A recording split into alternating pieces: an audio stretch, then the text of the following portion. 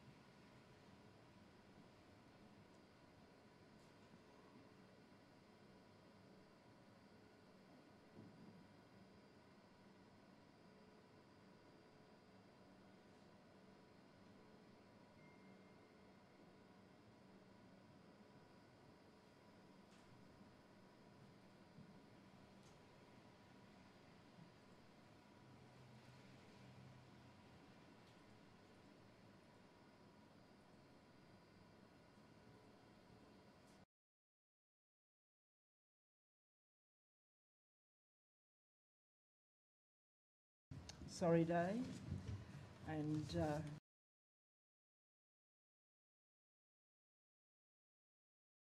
and those affected individuals, families, and communities. And we thank our elders and community members who have spoken with us on our journey around the state, and we thank them and we remember them uh, and acknowledge their hurt and rem- remember them always and thank them for sharing stories with us about those who are no longer with us. Council. Uh, Thank you, Chair. Today we welcome Uncle Kevin Coombs to the hearing room and uh, Uncle Kevin's family. He is joined today by his daughters, Rose Feller, Janine Coombs, and uh, his grandson, Jordan Coombs. So welcome.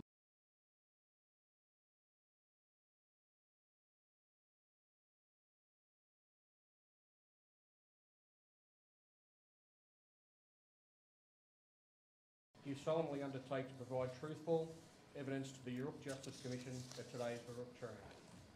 I do. Uh, Thank you, Uncle. Um, With the assistance of the staff of Yoorrook uh, and those assisting them, you've prepared a witness statement. And um, is that witness statement true and correct? Uh, yes. What I'm going to do this afternoon is to um, ask you some questions, but also play some video and then ask you some questions about a, a documentary that has been.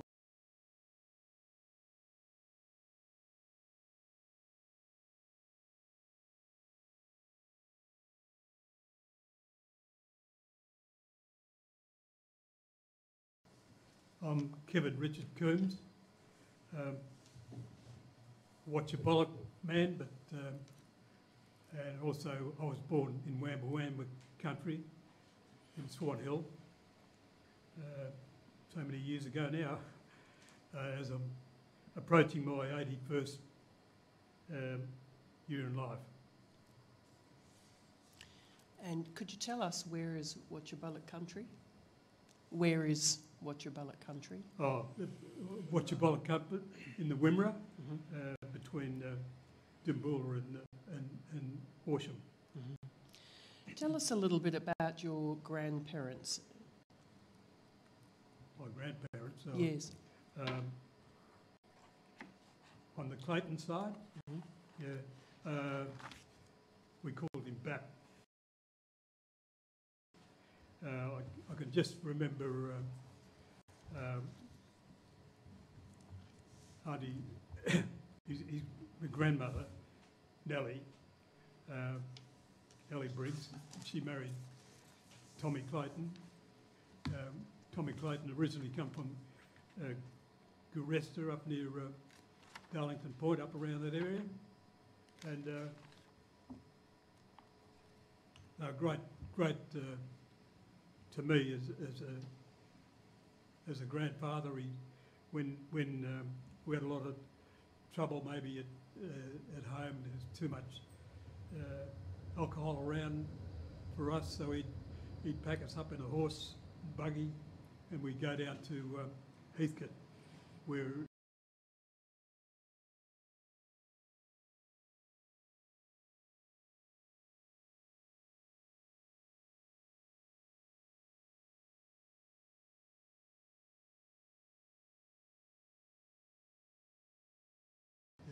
And your great grandfather, Albert Coombs, he was also born in the Wimmera. Yes, So tell us about him. um, Albert Coombs. Um, I, I didn't know too much about him, but uh, I, I knew um, um, Alfred Jackson Coombs, who, who went to the uh, First World War in uh, in France.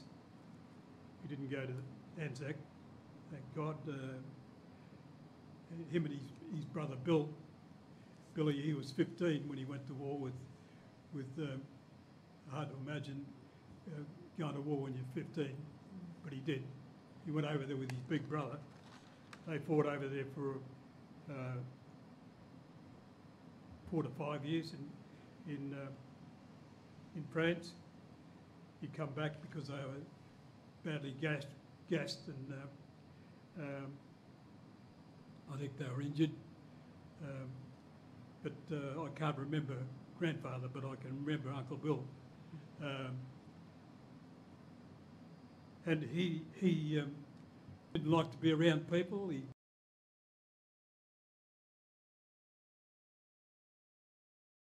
him and his wife would go off, and you wouldn't see him for another six weeks because you didn't you didn't want to be around people because it, uh, of what he went through in the, that First World War.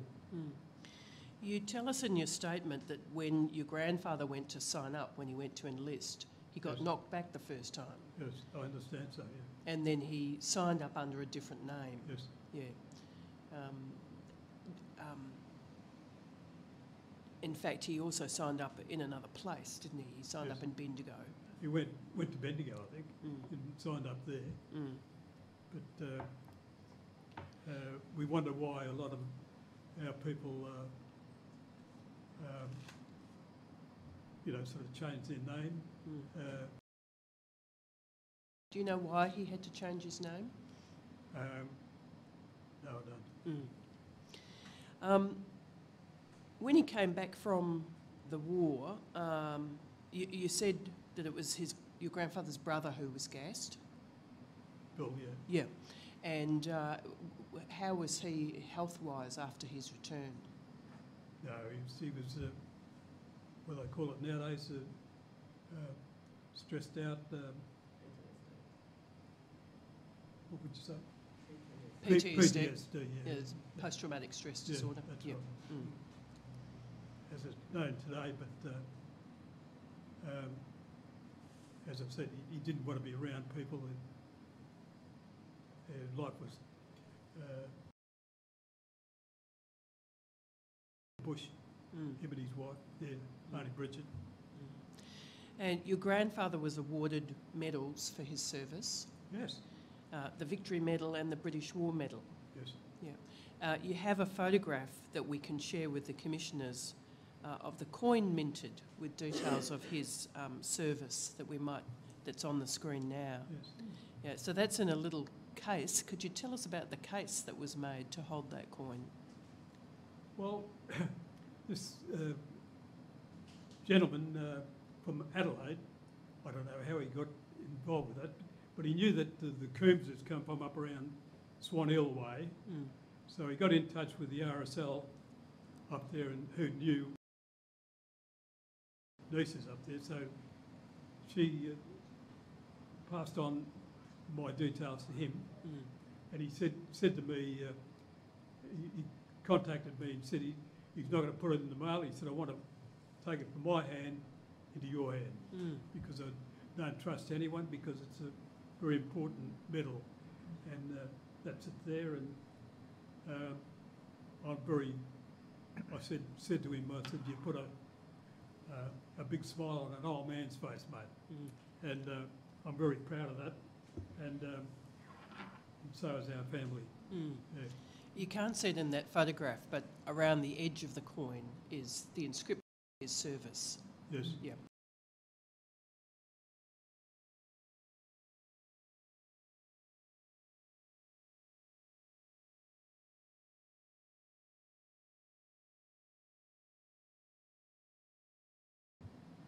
Like they were treated um, before they went. They were just uh, another blackfella, I guess. Mm. But um, this it was very, uh, very uh, pleasing to get that that back and and uh, to end up um, being friends with the person that um, now don't.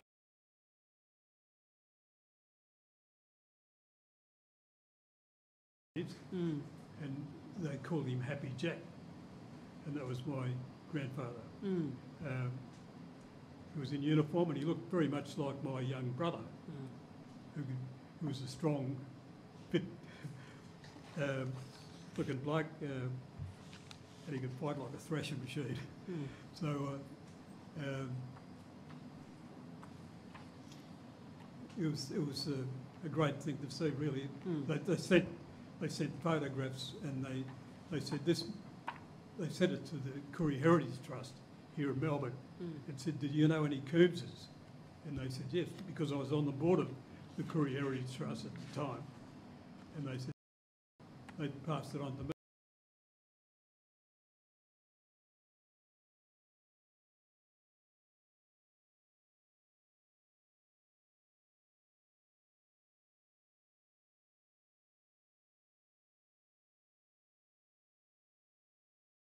His family returning and missing out on soldier settlement of properties. Oh yeah, Were, were your was your grandfather and um great grand uncle in the same category? They Yes. they came back and they missed out. yes. And I I, um, I was on a, a radio program uh, one day um, with uh, Jon Faine.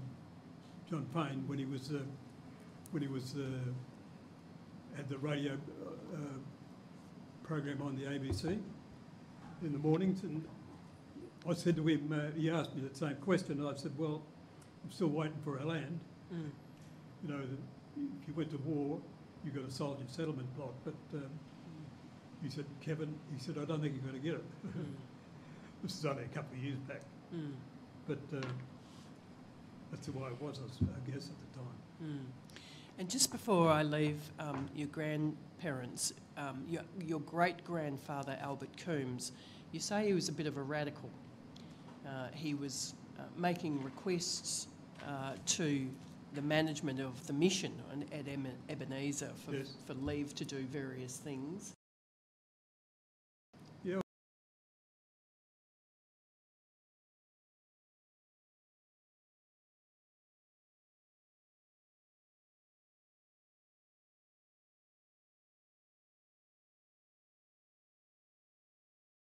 Said, in my statement, I think I said, I wonder what um, my great grandfather would uh, think uh, of me today, um, what he would uh, have me say today about that, Mm. because he wanted um, more blankets and he wanted more uh, sheep Mm. uh, to survive, and he wanted wanted. He, he used to write to. I suppose at the time he he'd write. To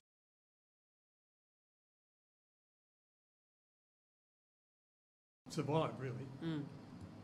So this is the 1870s. Yes. Um, to have some sort of self-sufficiency or independence, he needed to seek permission from either the mission management or the Victorian Parliament, did he?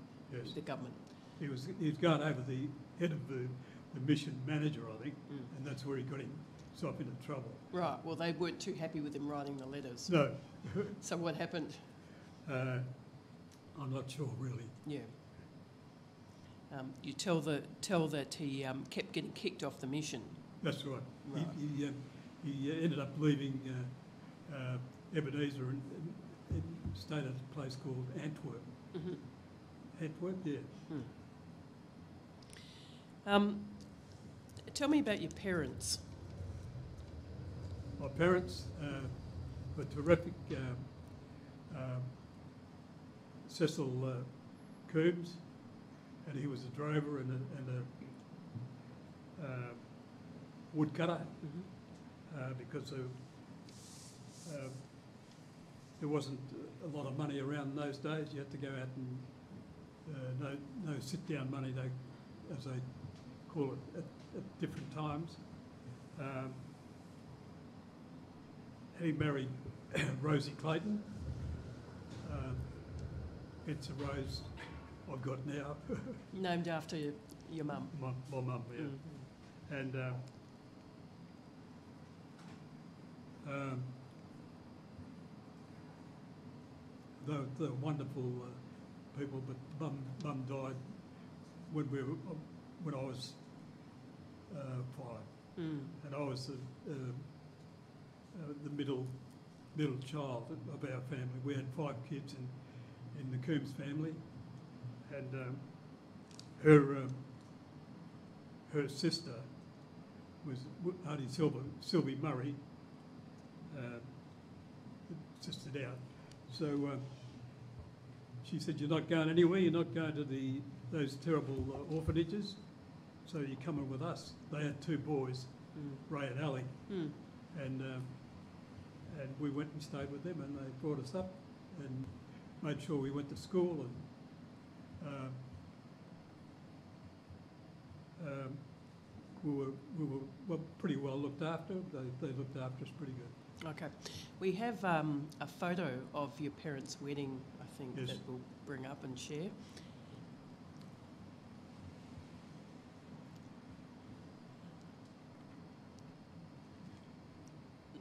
So hopefully you can see that, Uncle. Who's, who's in that photograph?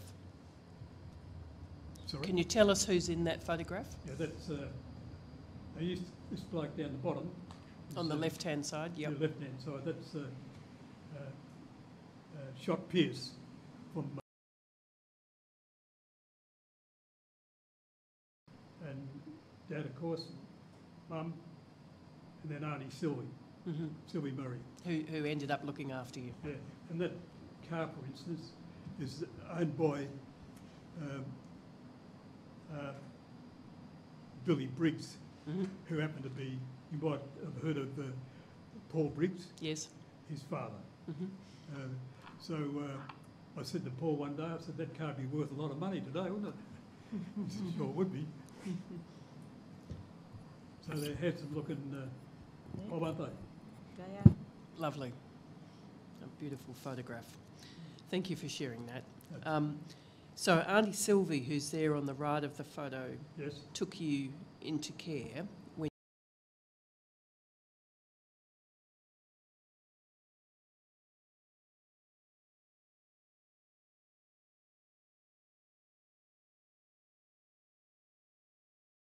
it's um, uh, Sylvie, Sylvie Murray, her, her, um, her husband, uh, Ronnie Murray, or Rid- Ridley Murray, he, um, he did very well because he, he had the contract at Balranald Mhm. to supply all the timber for the uh, steam uh, room at the, the, the hospital. Mhm.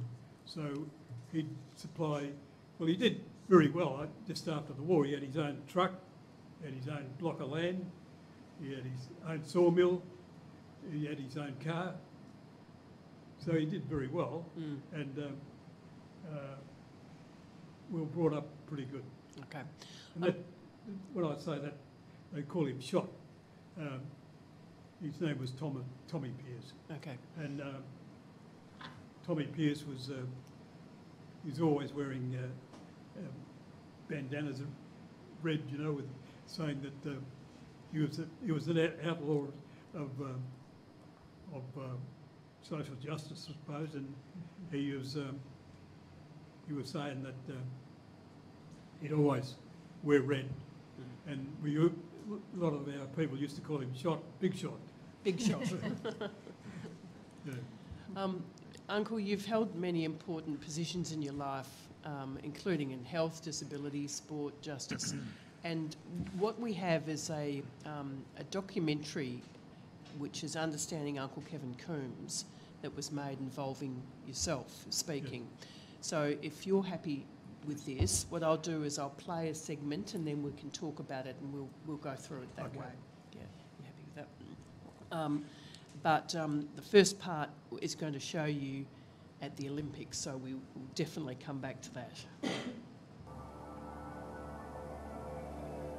Let us welcome into the stadium five athletes in whom the fire burns brightly. Ladies and gentlemen, the bearers of the flame. Kevin Coombs, Paralympian. Rome, Tel Aviv, Heidelberg, Anaheim, Stoke Mandeville. And here we see Kevin Coombs, who has competed in five Paralympic Games, all in wheelchair basketball.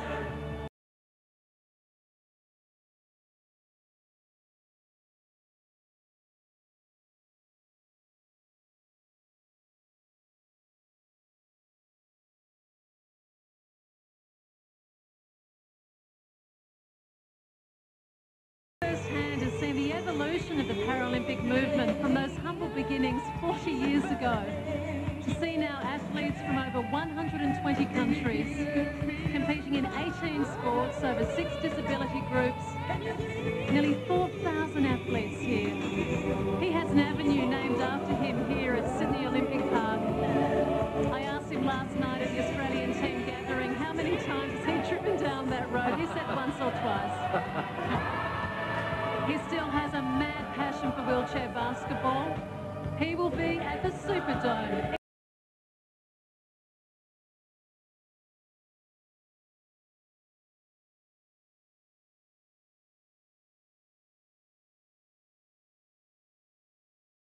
Clayton, and my dad was uh, Cecil Coombs. I had uh, four siblings and uh, two brothers and two sisters. When Mum died, we were looked like we were heading towards the Cootamundra, you know, those terrible homes that they sent kids to. But uh, Mum's uh, next sister down, she said, "You're not going anywhere. You come coming home to me with us," because her and uh, her husband had two boys. He tells a story that there was two kids went to bed, and seven woke up in the same bed next morning. It was of 1953. I can remember it like it was yesterday because um, that did change my life. We were shooting rabbits. One of my cousins had a gun, and I had a gun, and uh, and we were. He was 14, and I was 12, and uh, we had a couple of um, younger cousins tagging along uh, behind us, and we decided to uh, stop and have a bit of a rest. One of the kids, the little nine-year-old, he was playing with my gun, uh, and I left a bullet in it. And I heard the click, and I thought, I think there might be a bullet in that. And he fired it, and it was about three, three foot from me, and uh, hit me in the back, and came out under my heart.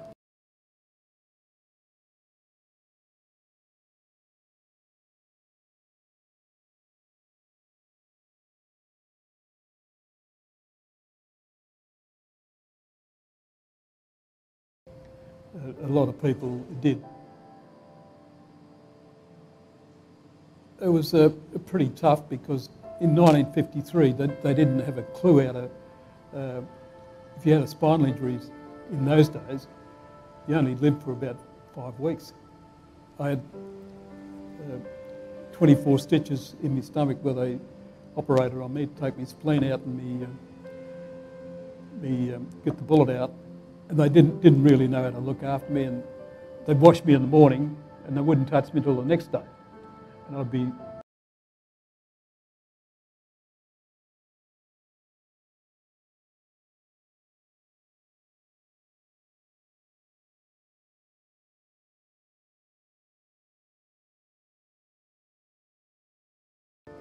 Children's Hospital. A nurse took me dressing down to have a look, and she promptly uh, fainted. and then uh, threw up, threw up and then fainted, I should say. And I thought to myself, laying on my stomach, thought, got a bit of work to do here. but uh, they did tell me that uh, I'd never walk again. The reason why I was being sent to Melbourne because they, they couldn't, they didn't know how to look after me up there, and it's got to be better if you, you're in a, a big hospital like the Children's and, and then out to uh, the Austin.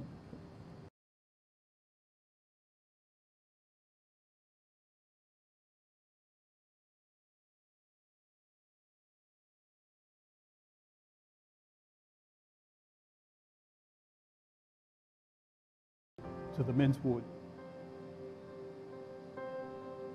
In 54, there was no uh, Aboriginal uh, organisations or no services at, all for Aboriginals, uh, so it was pretty, pretty tough. And uh, I had nowhere to go. I didn't know anyone down here. For a little uh, kid at 12 years old, you know, was really uh, involved with the family, um, heavily involved with, with the community where I come from and uh, not to see another black black face was pretty tough.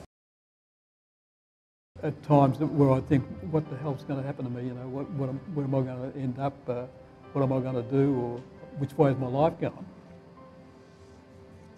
I had to concentrate on on what was happening around me, like with school and and uh, physio and um, getting fit and, and healthy to, to face what whatever life uh, was coming my way. When the Aust Austin set up the, the spinal injuries unit, uh, they wanted everyone off the ward um, by 7 uh, 8 o'clock, I should say. Everyone had to be off on their programs. In the morning it was the carpentry shed, then over to playing sport in the afternoon. I can see what they were uh, for, to, for work. And um, it was a little bit like boot camp, because if you didn't get up uh, and have a shower and uh, shave and uh, shoes were shiny and, and uh, you're ready for breakfast, you didn't get any. A couple of years back, I went out to, to lunch with about four of my old mates, and we looked at their shoes, and they're all very shiny shoes because this uh, the bloke who run the, the spinal injuries ward was very particular about that you had to have shiny shoes. And I said, why? He said, well, when you're going for a job in interview, you wheel through the door, first thing is your feet go through the door. And he said, that's the way to impress the boss. Us old blokes are sitting around the table, I said, he's got shiny, he's got, they're all got shiny shoes. so we learned something, I suppose.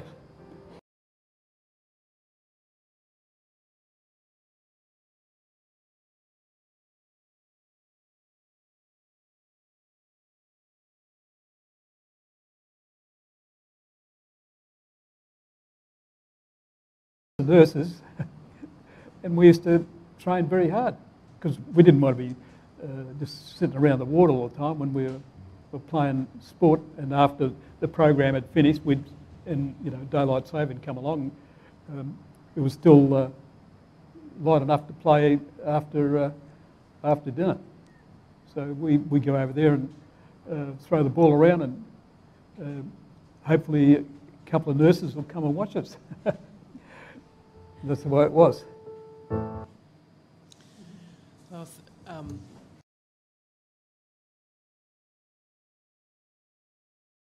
about um, before the accident, growing up in um, Balranald. Oh, right yeah. Yeah. Um, what was your experience of growing up in the town there and going to school there? Um, well, in, in the early days, my, my uh, hometown of Balranald was a fairly racist town because uh, the reason why I say that, they had two schools, one for the blacks, one for the whites. And uh, uh, my elder sister had a lot to do with changing all that because uh, Dawn, her name was, she owned the, the Roo Works up there. And the Roo Works employed a lot of people in the town as shooters, uh, skinners, and uh, sort of like uh, I could go up there at the weekend and shoot about 20 roos, well, that'd pay for my weekend. Mm. But after that was, all the routes were, had to be tagged, you had to be a professional shooter.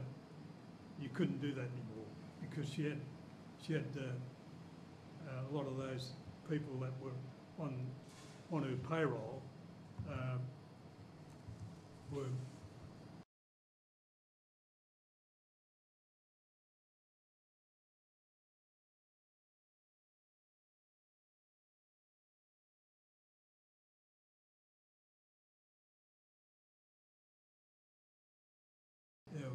kids were small and uh, the girls were small and we'd uh, come home from work and throw the uh, throw all our gear in the car and away we'd go. Five hours later, we'd be having uh, dinner with uh, my sister, and uh, but she passed away some years ago now, so that doesn't happen. But I get up there occasionally.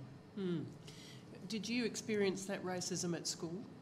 Uh, uh, yes, we did, but uh, they, they let us, the teachers let us sort it out ourselves, and we used to go beyond the shelter shed and, Oh, so it mostly was from the other students. yeah, Yeah. yeah. Um, They, I've got to say, mm, they were uh, pretty good in this. A lot of those fellows that uh, mm.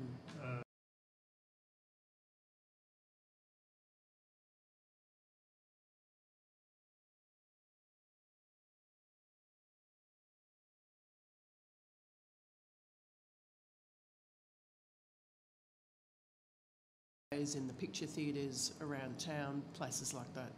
Yeah, well, the, uh, when we used to go to Saturday afternoon uh, movies, the Aboriginals used to sit on one side, the whites on the other side. And, uh, and same with uh, the cafe that we used to go to. We wouldn't get served if we went in the front door, we had to go in the side door. Mm. So that did happen, yeah. Mm. And have you seen that sort of racism persist over your lifetime, or do you think it's improved? Uh, No, I, I think it's improved a hell of a lot. Mm. and so it should. Uh, Except to say, when, when I uh, was playing uh, top level basketball, the, I think we were in, uh, I can't remember Tel where we were, Aviv, but? Mm. the, uh, this, um, uh, we were in there, I was with me mate Billy Mather Brown from West Australia, Mm. he was in our team and uh, he drinks coffee or, or tea and I was having a cold beer and uh, this Zimbabwean bloke came in and said, uh, oh, they're open uh, their uh, bars for niggers nowadays. Uh, so I did um, feel that in my international uh, career, Mm. but uh, my uh, Australian manager, I went back and told him, and he said, point him out to me tomorrow. So we went down for breakfast next morning. This bloke, this Zimbabwean bloke, he was bright red. You could see he had a big knot on the grog. and uh,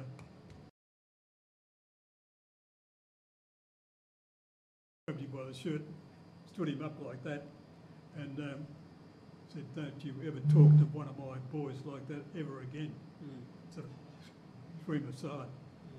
And uh, I got to say, um, that Zimbabwe uh, bloke uh, never left my side uh, for the rest of the games, and he was a very good friend in the end.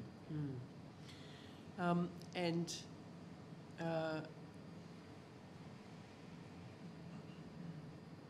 did you lose connection with your father at some point? Sorry. Did you lose connection with your father at some point after your mum died? Oh, yeah, well, he was, he was a, a woodcutter, and he, he, he um, was working up at Mansfield. Mm. And uh, before that, Picola, the, the, the bloke who owned the two sawmills, uh, Seth, my dad, used to, when it got quiet at Picola, it, they'd send him to Mansfield, and he'd work on the mill there. And uh, uh, one of his mates rang me and said, "Listen, there's something wrong with your dad. You, you better come up and uh, because they didn't want him to be staggered. They thought he was on the grog, but he, he was, um, he had Hodgkin's disease, which is a cancer of the neck, and um, he was um, sort of staggering a bit, and they didn't want him to be falling around where these big saws are going around. So I went and got him and brought him down.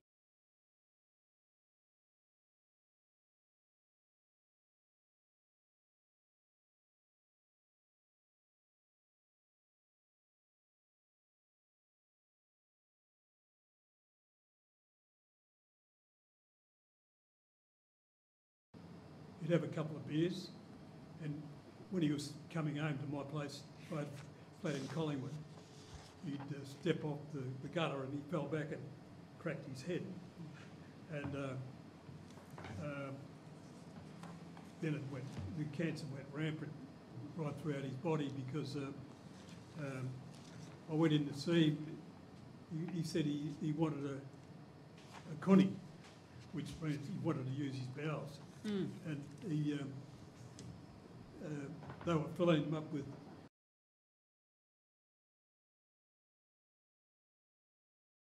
to block him. And because when I went in there a couple of days later, because he was getting angry and he's sort of waving his arms around, uh, this Indian doctor said to me, um, "Can you sign here?" I said, "What? What am I signing?" He said, "We're going to committee. I said, You've got a what?" You know, I could have reached across I'd have I punched him because I had pretty big arms in those days when I was fit and healthy.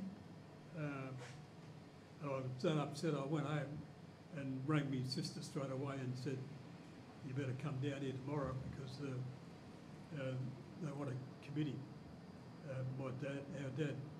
So um, uh, she took him home to Balranald and he, he was put into hospital up there and uh, she used to go up and every day to pick him up and take him down to her Roo Works where she had the Roo Works and uh, a lot of his old mates be there and they'd be, uh, you know,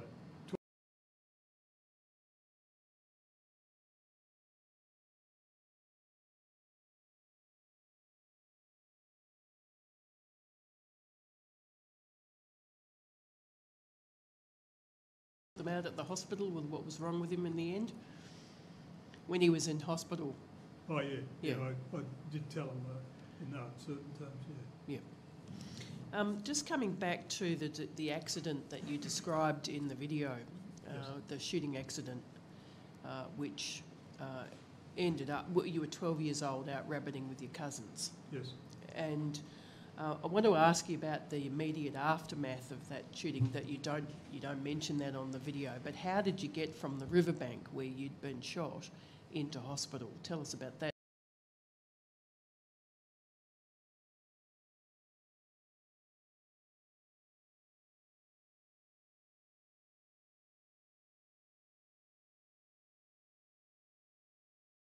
The opportunity to get all that wood and sell it to the hospital. Mhm. and he had a contract with the hospital.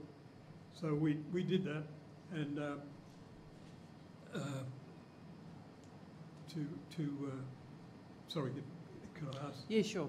So I was asking about the accident on the river Oh, yes, where your cousin shot you, yes. and uh, uh, you were you unconscious afterwards, or were you still conscious? Yes, yes, I was, because uh, I I can tell you the story. Stuart Murray, Yep. and I understand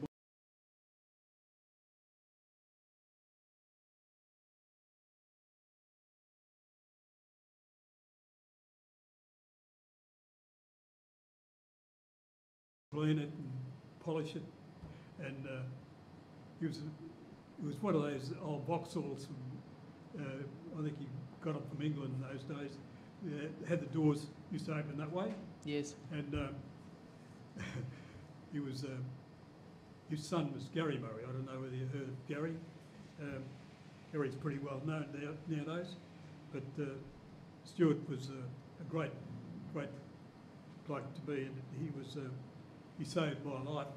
He, he, um, he run down in my uh, in his car and threw me in the back and Auntie T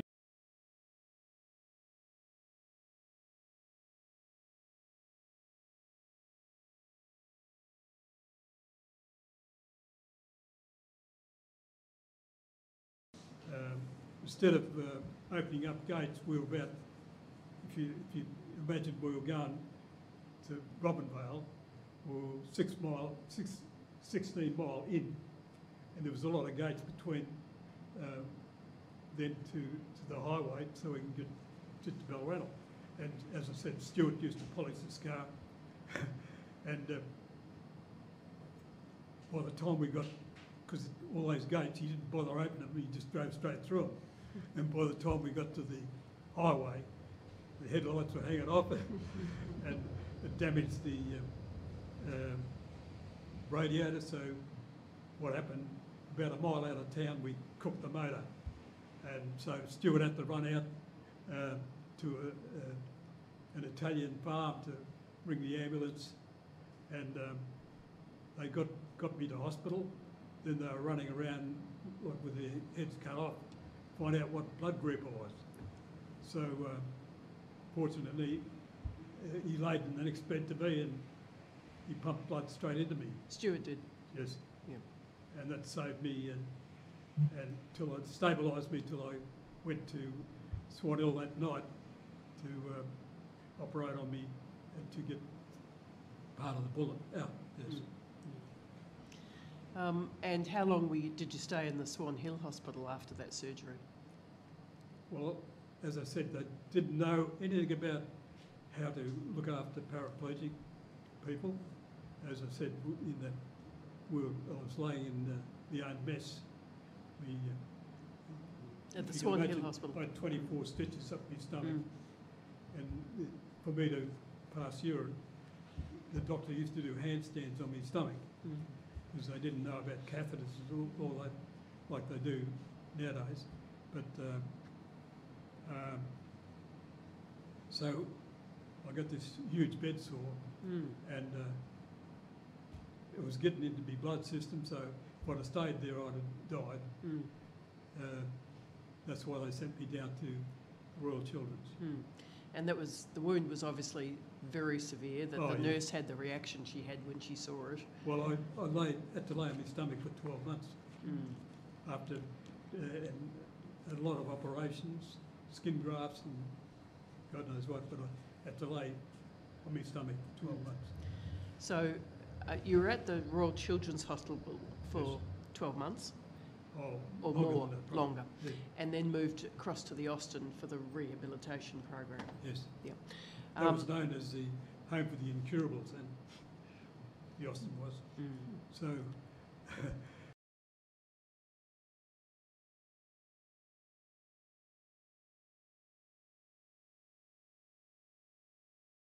take. But before I get to that, uh, you also mentioned um, the loneliness of being in hospital for that for that period, long period of time, Yeah. without seeing any family. Can you just tell the commissioners about a little bit about that? Yeah, well, uh, I didn't see another black face for two years. And that, uh, for a kid 12 years old, uh, 13 years old, is a big impression because uh, uh, eventually uh, the system in charge knew everyone who's who in, in Melbourne, I guess, and she got in touch with Sir Doug Nicholls, and uh, he happened to be um, Stuart Murray's father-in-law. So um, they come to visit me, and uh, uh, I was I was pretty crook, and uh, I had.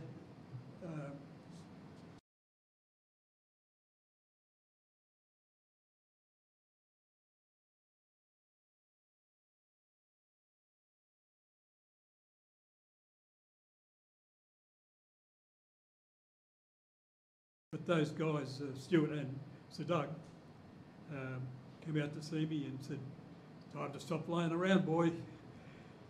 You got to start moving. And they got me going.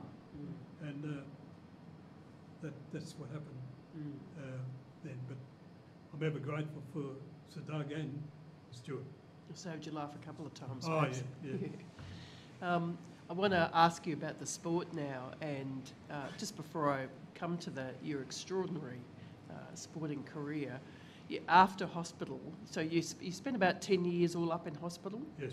various hospitals, um, and you started to play sport through that time as part of your rehabilitation. And uh, you moved out to a hostel in St Kilda when you were about 22 years old. That's right. Uh, was that a supported hostel? Was that um, church group or, or some other? Um, It was run by the Crippled Children's of Victoria. mhm. Um, I, I don't know what, what they call them nowadays, but um, they had a, a place.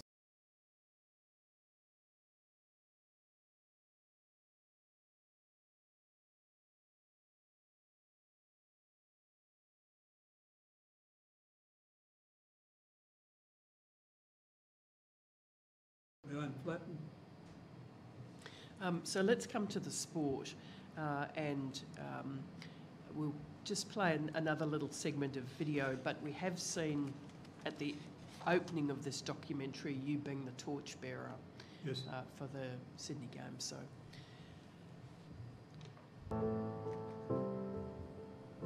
We uh, created Paravix in 1964 to get the grassroots uh, is there roots any chance to get- athletes can we turn it up to a level where they could uh, go on and be Paralympians.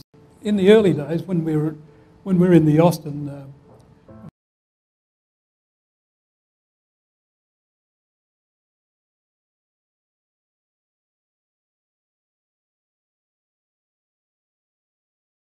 affairs, uh, we didn't want to be a subcommittee to anyone, so we all put a dollar in each. There's 11 of us. All the members were under 25.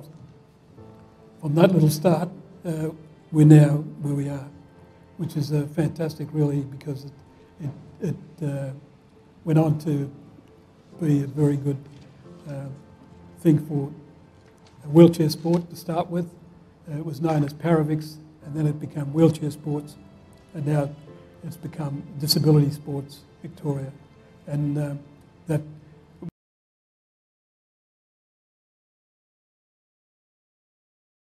disability. In 1960, uh, I was in the Australian team to go Can I just jump in? Can we just um, pause there for a sec? So Yep. that guy on the right, Yes. is Bruno Moretti. We, we just lost him uh, about a month ago. Mhm. Uh, him, him and I went to the first Paralympics in 1960 in Mhm. Rome, yeah. But he was a, he was a great bloke. He was uh, my best man at the wedding. He was my godfather, my daughter's, eldest daughter's godfather. Uh, so, yeah, we just lost him about a month ago. Yeah, I'm sorry. Thank you. to Rome as an 18 year old boy, and um, I had to get a passport. So uh, at the time, the, the government could tell you how many cattle were in this country, how many sheep were in this country, but they couldn't tell you how many Aboriginals were in this country. I had to go and, and to represent my country on an honorary um, British passport and uh, that sort of still sticks in the guts a bit. But um, that's the way it was at the time. It was supposed to be in, uh, in Moscow, but uh, Moscow told the International Committee, they said there's no disabled people in Russia. So they, they had them in uh, a little place called Arnhem in Holland. It was really brilliantly run and but it was really uh, frightening because uh, after the German games, uh, with you know, the massacre of the, the Israelis, it became very sad to see. But uh, going to our different sports, we had to go with with uh, uh, army sergeants with uh, guns and machine guns, and you know, guarded all the way, and uh, and we felt uh,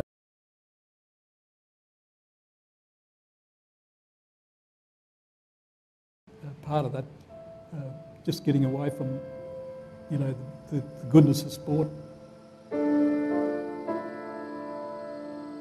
The last games was based in England, Stoke Mandeville, where it all began. That's what I first, uh, or second time I'd met uh, Prince Charles. He, he uh, uh, opened the games in, in 84 in England, and Lady Di was there with him at the time. And uh, again, I was the captain of the Australian team, and and that, again, all the other teams were just giving him little badges and that. But I gave him one of these these Akubra hats, and I said to him, uh, he put it on. And I said,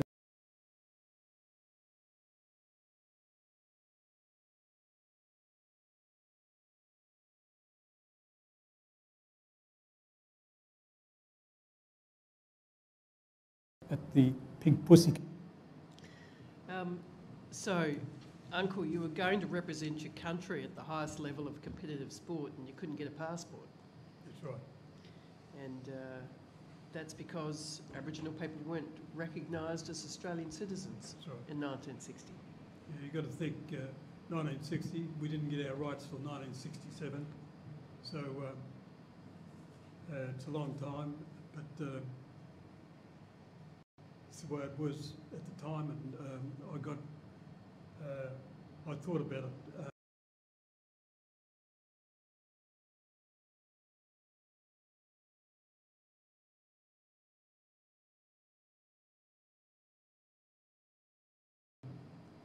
Kokoda uh, for the Japanese and the Kokoda track. Um, he, um, they went there without, without passports too. Hmm. So I thought about that and thought, well, uh, that's true. Um, yeah, that, that's, uh, think about things and you think, uh, well, it's not all about me, but it's about other people too. Yeah. In fact, um, not only were you not recognised as citizens, but Aboriginal people were dealt with That's by right. a piece of legislation Yes, uh, described as flora and fauna. yeah. And you've mentioned that to me in our conversations as something that uh, you weren't happy about. No. Um, you mentioned uh, earlier the incident of racism from a fella from the Zimbabwean team uh, in 1968. That was in Tel Aviv. That happened. Yes.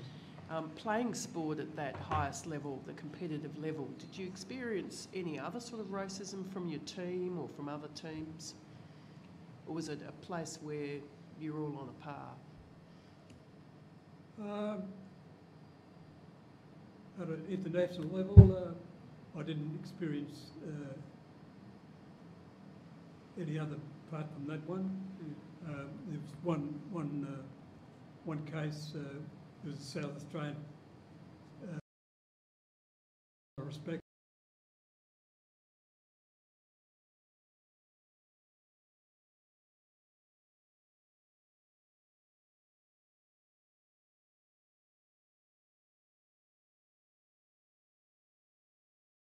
That's the only two, uh, Yeah. You mean he was playing on you? yes. Yeah. yes. Um, pardon me. Uh, and you also said that you met Prince Charles a couple of times. I met him a couple of times, yeah. Yeah. You mentioned giving him the Akubra hat in the video, but Yes. you, you gave him another gift. I gave him another gift. yeah. Tell Uh, us, tell us about giving him that gift and, uh, No, I did, did not know anything about uh, security around the Royals because, uh, uh, as I said, my team manager was a very Australiana type guy and he had this.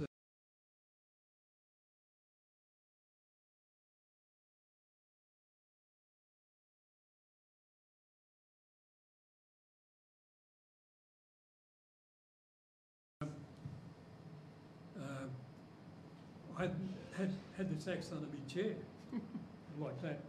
I reached out, I said, I've got another present here for you. And I reached out and pulled this axe out, and it had encased in leather, you know, uh, to Royal, Royal Highness, your Prince of Wales, I think he was at the time. Um, um, and my mate was sitting behind me, a big Queenslander fella. Uh, he, he said that the security was just about to dive on me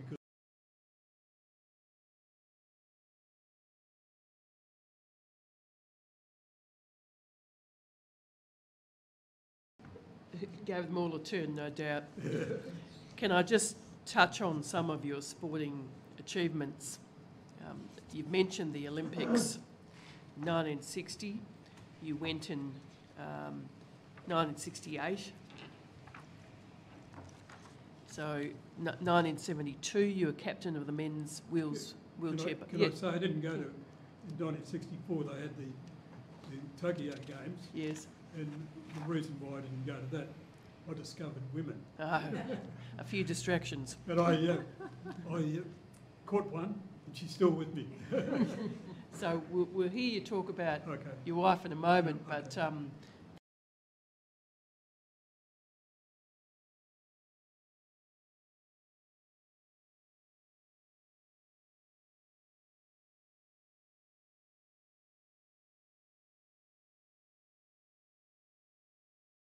basketball team, Paralympics in Heidelberg, 74, captain of the Australian men's wheelchair basketball team at the Commonwealth Games, and you were silver, silver medalists, Commonwealth Games. 77, the Silver Jubilee Games, Stoke Mandeville, that was mentioned on the video. That's when you saw Prince Charles again with the racing axe.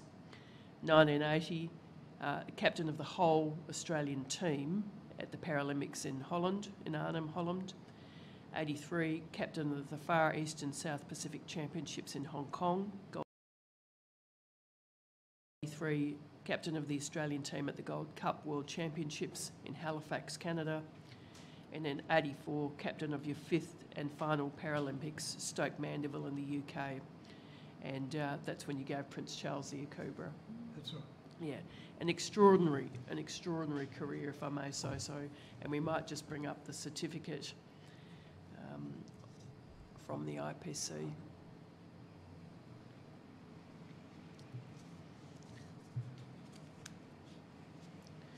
Uh, So for your special achievement as a Paralympian, upholding the Paralympic values, you are granted use of post-nominal letters PLY.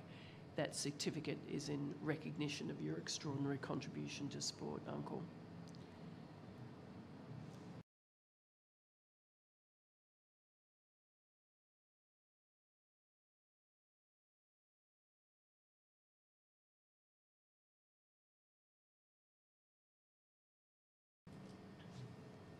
Cat, Peter Poynton's Hotel in, in uh, straight up in Grattan Street, straight to the Women's Hospital.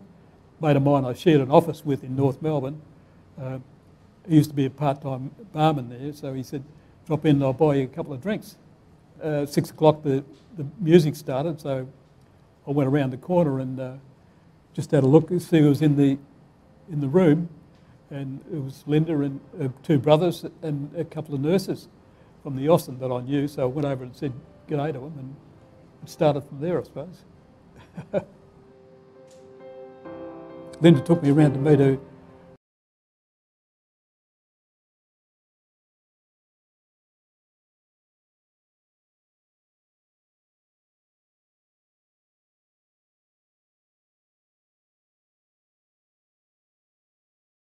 In, and you could hear them right coming down the passageway. They're bumping, bumping the wharf. I heard the door open. Oh, he's in a wheelchair. Oh, he's back.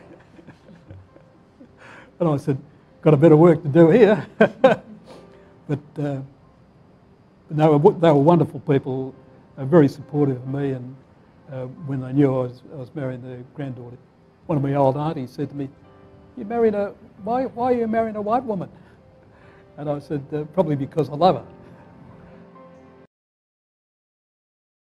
Of the spinal injury unit at the Austin, and I rang him up one day and I said, "What's the chance of uh, me having kids?" He said, "Same as me winning Tatts." And I rang him up and uh, said to him, "I said, mate, I'm never going to buy you a Tatts ticket because of, of uh, my wife's pregnant." Very proud of uh, both my girls. Janine, who's been the eldest, she's now the chairperson of the Federation of Indigenous Land Councils right throughout Victoria, and she's also the chairperson of uh, Barengi Gadjin in, in Horsham, where our ancestors originally from. Rose is my youngest girl, and, and uh, uh, she's a magistrate in Victoria. So we're very proud of both the girls and uh, what they've achieved. It's not all doom and gloom in Australia about for Aboriginal people. There's a lot of smart kids around now that, given the opportunity, uh, we've got doctors and we've got uh, magistrates, we've got lawyers, we've got teachers, and uh, just goes on and on. Um, Uncle, I want to come now to, there- you are shaking the former Prime Minister's hands in that shot. Uh, Prime Minister John Howard at the time, by the look of it. Um, Uncle, I just want to move to your working life, but I want to ask you if that's a good time to have a break. Would you, would you like to have a short No, no, break? pretty well. Keep, keep going? Yep, Yep. thank you. Um, so let's, let's come to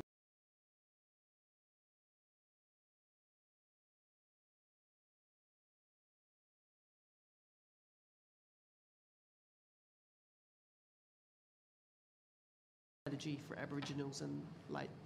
Uh, 1979. So what was that employment strategy?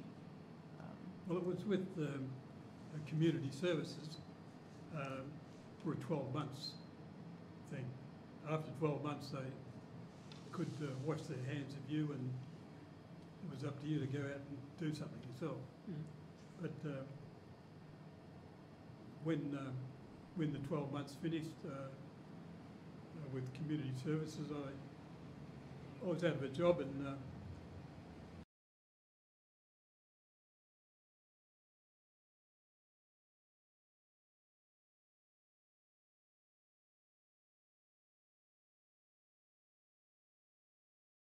uh, we, one or two of them worked the printing machines and they printed a hell of a lot of uh, Christmas cards, you know, personal stuff, mm. personal Christmas cards.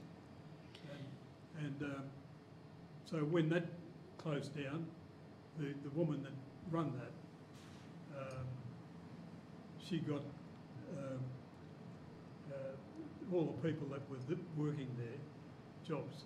And uh, because of her, she was in the printing industry, she got a couple of uh, people working in the printing industry, and they got she got me because she knew I could talk a bit. She uh, she got me a job at Collins Inks, an interview at Collins Inks, and I was there for 15 years. Right. Um, after your traineeship, you were approached by the National Committee for the International Year of the Disabled Yes, to be a representative on that on their committee. yeah. And tell us about that work, that work that had you travelling and yeah well, speaking. it was um, uh, Charles Perkins was the secretary of the uh, the Department of Aboriginal, uh, the Federal Department of Aboriginal Affairs, Mm. and he said, "I know there's a there's a bloke down in, in Melbourne that can." Talk. so I'd like him to be on that uh, uh, committee. So that's how I've become on that national committee. And a lot of people uh, the, the, on the national committee uh, sort of uh, like what, what I was doing because a lot of people in Victoria, because I was working with the, the uh, Health Commission at the time, that uh, everyone knew I was in a wheelchair, but they didn't see me as, looked on me as, as disabled because I'd jump in my car and go to Mildura and uh, uh, because of that, Mm. they never saw me as a, a disabled person, except I couldn't walk. And that's what that's what the, uh, the International Year of the Disabled was. And to um, even today, it's uh,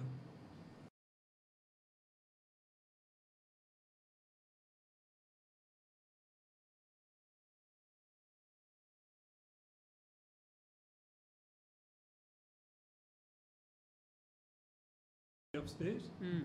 How can you get up there? There's no no lift or anything like that, Mm. and uh, so I won't go to places like that. Or should I? You used that role on the committee to um, lobbying to make sure Aboriginal people got a better deal with housing and health and Yes. issues like that as well. Um, t- tell us about um, the travel that was involved, including to Western Australia, where you travelled to Western Australia and heard language for the first Yes. time. Yep. Well, um, I went there um, because of International Disabled, and uh, I went to uh, uh, Derby, Broome and Derby. Uh, Derby was where they had the leprosarium, and and I've never seen that nor did I think it was in in in Australia but there was, and I went went there and I seen people with uh, holes in their hands, holes in their feet, um, and their hands are like that, and and I said, uh, I went and shook hands with them. They said to me, uh, just be careful.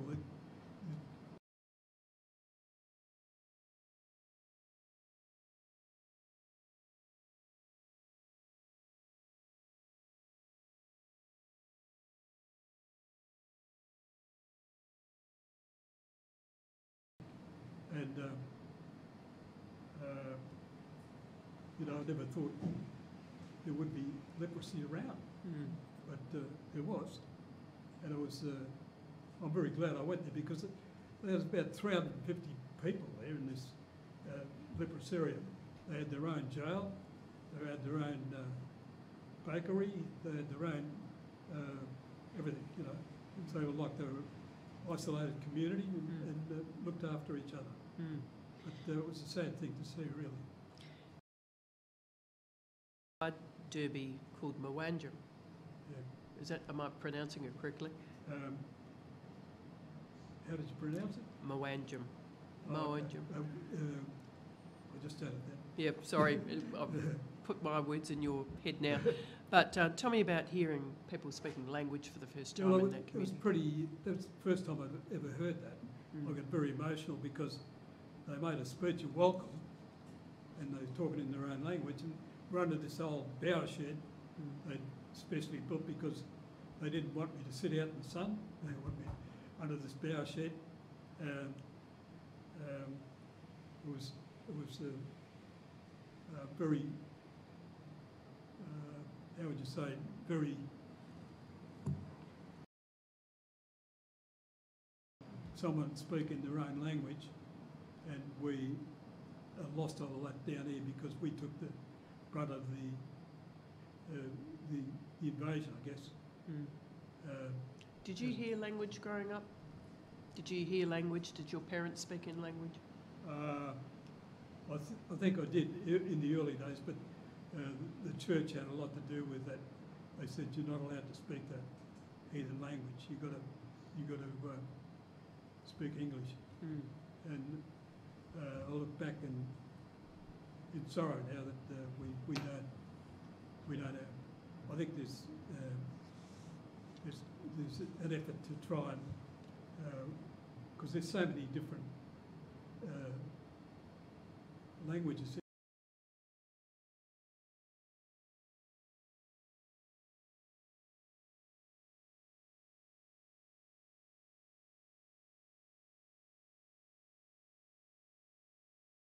Koori Health Unit. Uh, so we might just play the next little segment of tape.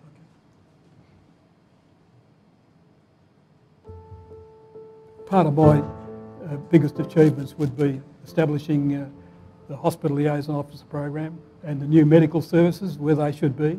We established um, the Hospital Liaison Officer program to make it um, Aboriginal people make sure that they get, get the right services, especially in small communities like Swan Hill. If you came in, they'd say, wait over there, and because the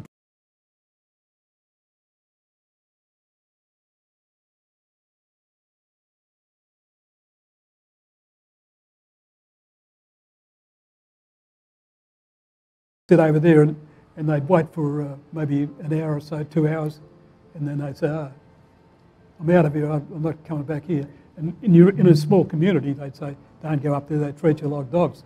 So that word gets around the Aboriginal community very, very quickly. If an Aboriginal uh, person comes to the desk nowadays, he's met by the hospital liaison officer and they sit there with him and it's worked very well because it's gone for years.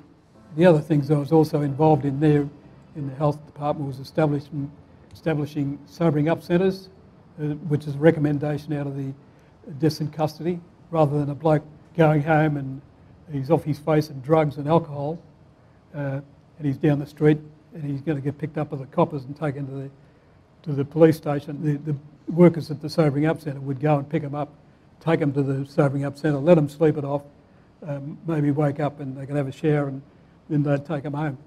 I established that. And uh, also the alcohol and drug workers. We started off with about seven and now there's about 42. Just, just to finish off, and then we'll have a break, Uncle Kevin. Okay. You mentioned um, the importance of the liaison, the health workers um, being the liaison for the hospital, and the reluctance of uh, Aboriginal people to identify as Aboriginal. Um, was that something that y- you came across when you first started in that work?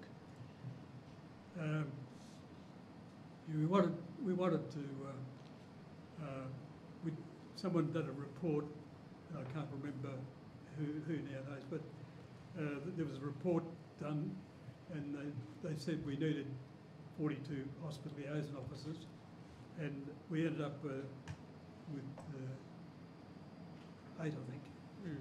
And um, now that it's come down to, uh, it's all picked up by the closing the gap funding, and uh, it's, it's an advantage for a hospital to have a hospital liaison officer and Aboriginal people coming there to, to hospital because they get uh,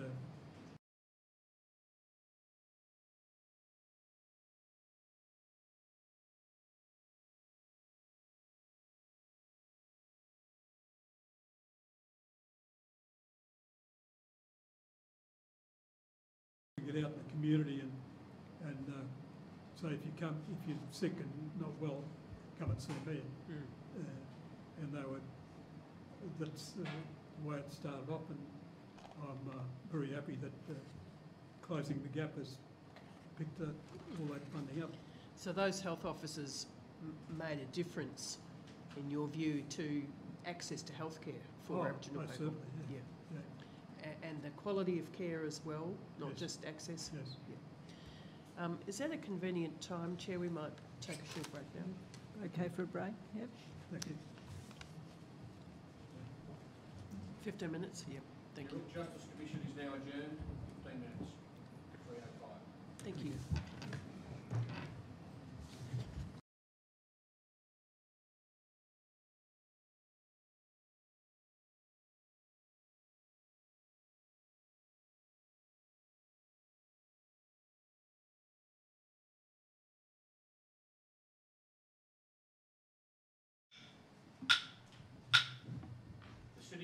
Sitting of the Yoorrook Jus- Justice Commission is now resumed.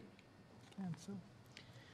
Uncle, um, before we had the break, you were mentioning the sobering up centres, and I just thought you, um, I'd ask you to tell the Commission a little bit about those centres and, and what the purpose of them was. Uh, Yes, uh, myself and uh,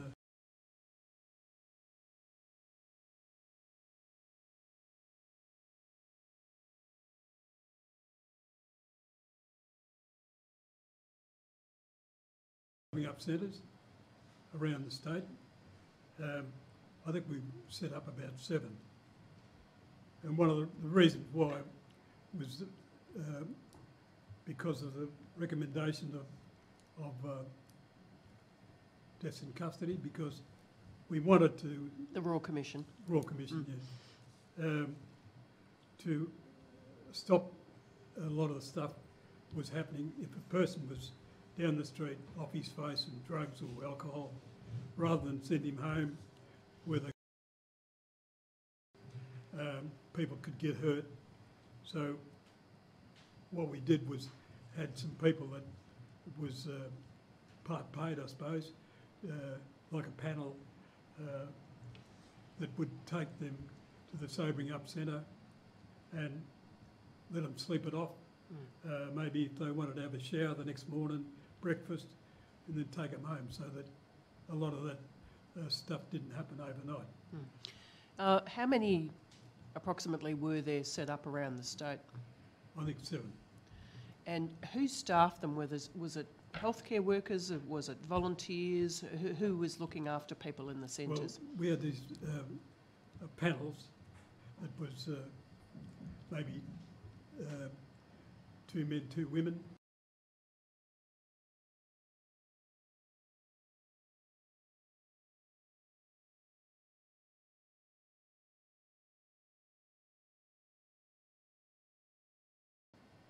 So that, uh, as I said, if the person was down the street off his face with drugs or alcohol, rather than take that home and there could be a big blue when they got home and uh, so it stopped a lot of that. Hmm. I don't know why they didn't continue that program because I thought it was very good. So the sobering up centres that you were involved with, that they're not run anymore? I don't think so. I, Fiona. I might be wrong there, but uh, I don't know. Uncle, how Commissioner. long were they open for? Sorry? How long did they run for before they closed?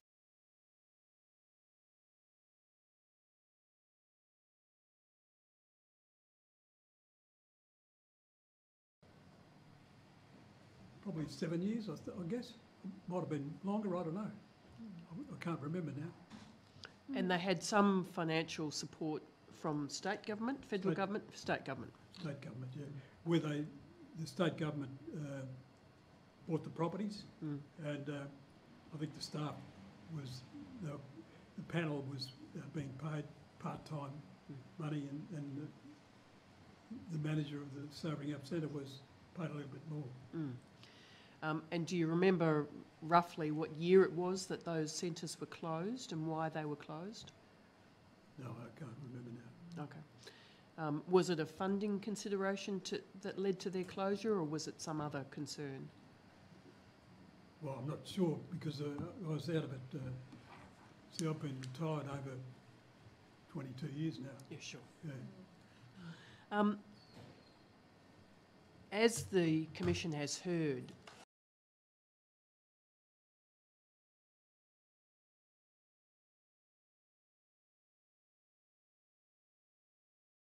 young man, you yourself knew of four Aboriginal people who uh, died in custody.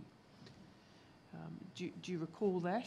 Sorry? You, as a young man, Yes, you knew of four yes. Aboriginal people Yes. who died in custody. I, I did, yeah. Was that, was that a motivation for you to setting up these centres? Um, yes, uh, it was because uh, I had a fair bit to do with, uh, in the early stages, uh, with Richard, Richard, um, Richard Frankland, who was, uh, who worked for the. Now, Richard used to come and see me when I was head of the health program. And I said, mate, because he was trying to solve everything. I said, you can't do it like that. You just got to step back and uh, uh, get some help around you Mm, and try and uh, get some more support.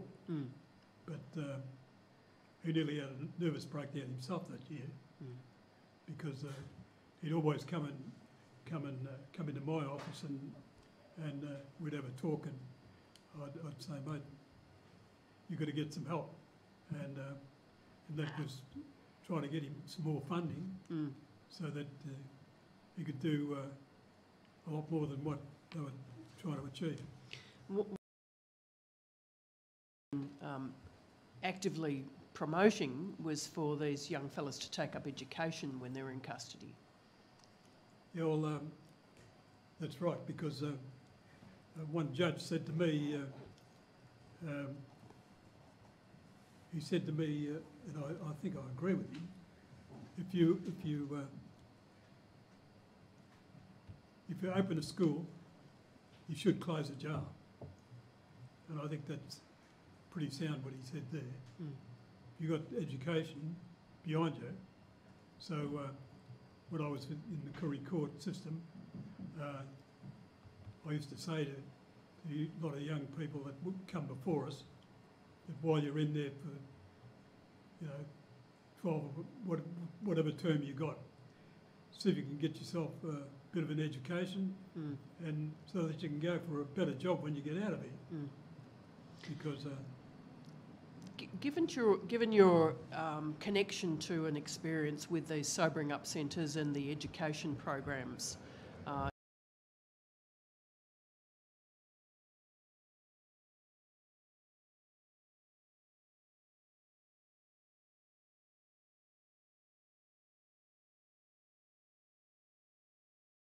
an act to repeal those laws, but the commencement date of those provisions has been delayed.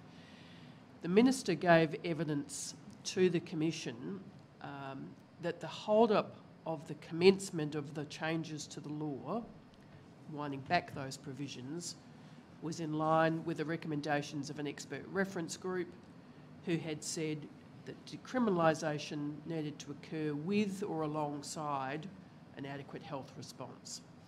And she said there are four trial sites for a health-based response planned, but the commencement was held up by the pandemic.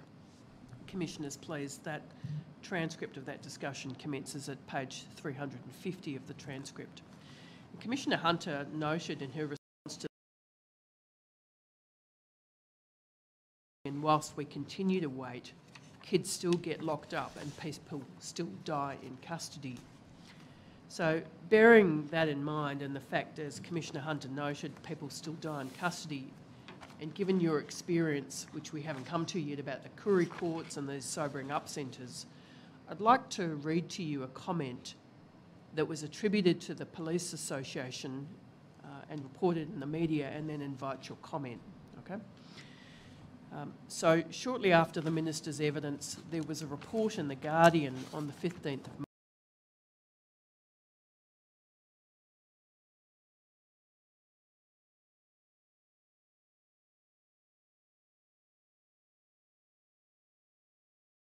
system to deal with the issue was dangerous virtue signalling.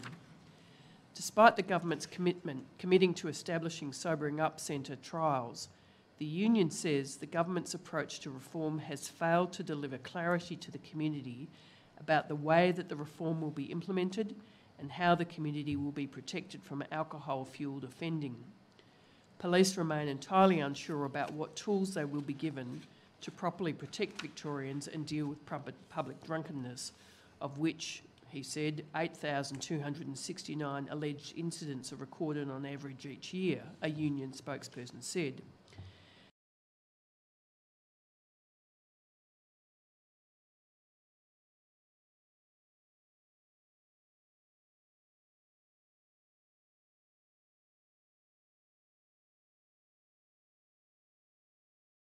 And their attitude to decriminalising public drunkenness, and given the minister's um, statement about the need to decouple or couple the health response with decriminalisation, can I just invite your comment because it sounds from your evidence as though the sobering up centres that were in place were working.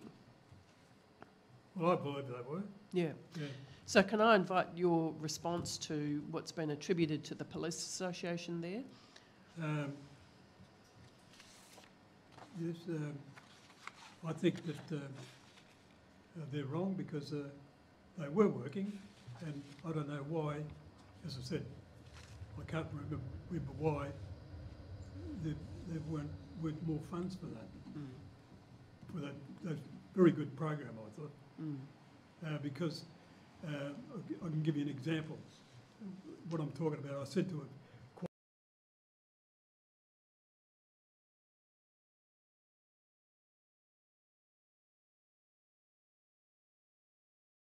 two brothers, the oldest brother and my youngest brother. Uh, they used to lo- love a drink. Uh, rather than get their uh, grog and go over the over the river, New South Wales, they'd sit in the park and have a drink. Mm. They caught three times in the park drinking, they got automatically three months in Pentridge. That's hard to believe, but that happened. Mm. Because I'd always say, I'll be seeing you in three months, brother. Mm. And that used to happen. So, so three times offending against drinking in public meant three months in jail. Yes. Yeah. In Pentridge, yeah. Yeah.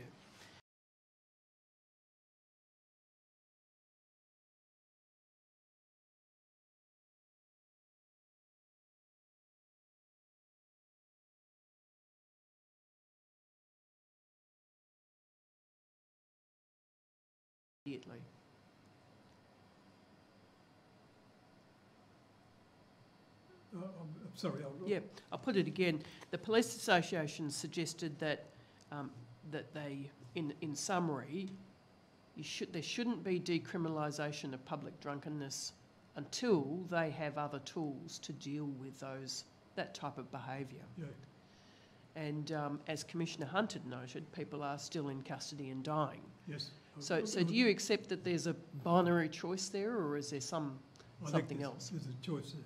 Mm, I think uh, uh, you- you're right, because um, um, every time I uh, uh, read about someone dying in custody, I, I get very, uh, very, very upset, I guess.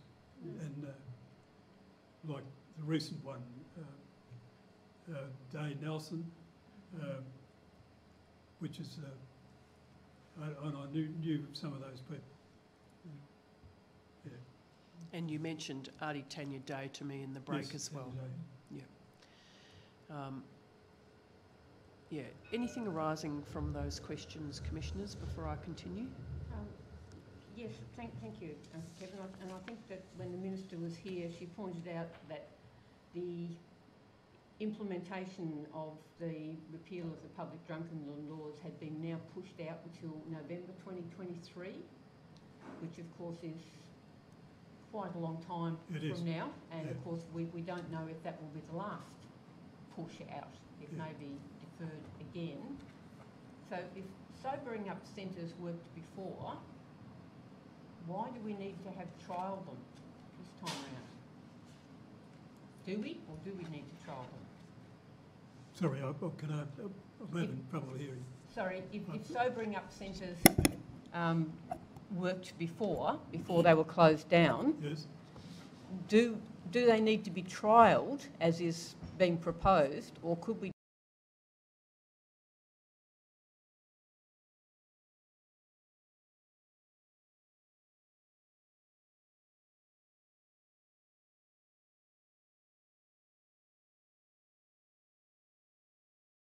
Thanks, Uncle. Uh, You mentioned the treatment um, of the uh, people who've been drink, picked up in the park drinking three strikes, basically, and you, Yes. you get three months. Was your bu- brother affected by that?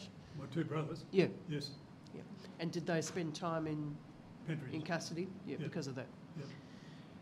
W- What was the effect on them of being incarcerated? Well, I, I, uh, I really don't know what affected them, but um, it would, would affect me to be in jail for three months, just because I was having a drink in the park. Um, um, I, I, I don't know what the, what their thoughts were. Okay. Um, I'm going to play a little bit more um, video that uh, talks about your recognition for all you've accomplished. I, sorry? Re- the recog- your recognition. For, Okay. yeah. In 1983, I was awarded the Order of Australia Medal here in Melbourne.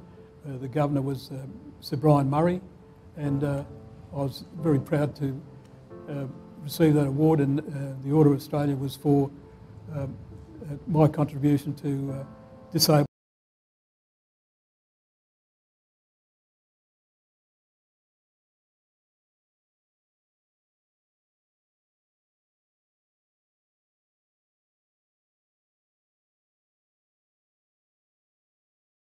Actual fact, so I was involved with a lot of uh, Aboriginal organisations uh, like the Health Service, uh, the gym, and Wheelchair Sports, Disability Victoria.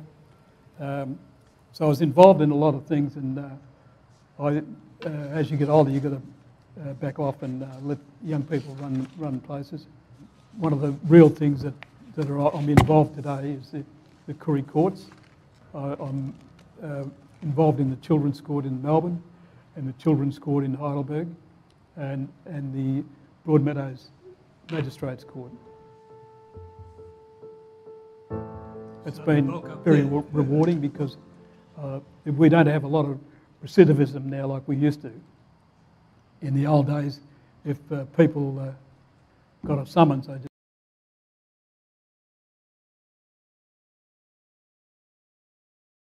just. But nowadays, uh, because the Koori courts have given the opportunity of people to take responsibility of, of their actions, the main role uh, of the Koori court elders is to be, is to not lock people up, is to keep them out of jail, and we I reckon we've done that pretty well. It's very good to, to see uh, those young people. I've run into uh, quite a few young people that come before me at Broady. They're pretty proud to know that uh, we've given them another, another chance, and, and uh, they're proud to introduce us to their family. As my kids who grew up, and even my grandkids today, I always tell them I'm proud of them.